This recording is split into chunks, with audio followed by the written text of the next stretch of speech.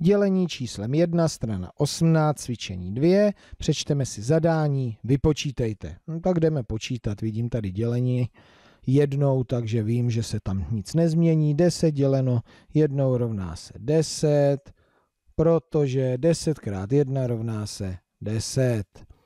A tady to se shoduje, takže to mám dobře.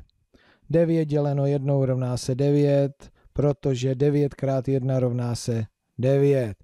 Zkusím něco z druhého sloupečku. 5 děleno jednou rovná se 5, protože 5 krát 1 rovná se 5.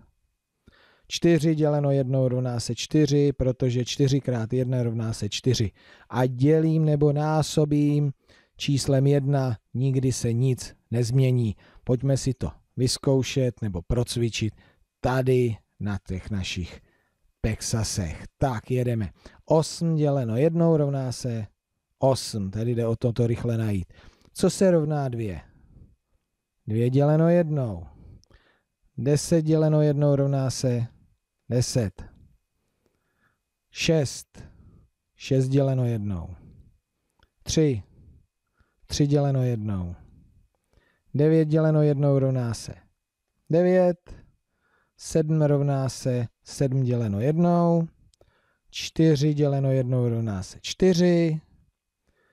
1 děleno jednou rovná se 1. 5 děleno, rovná, 5 děleno jednou rovná se 5.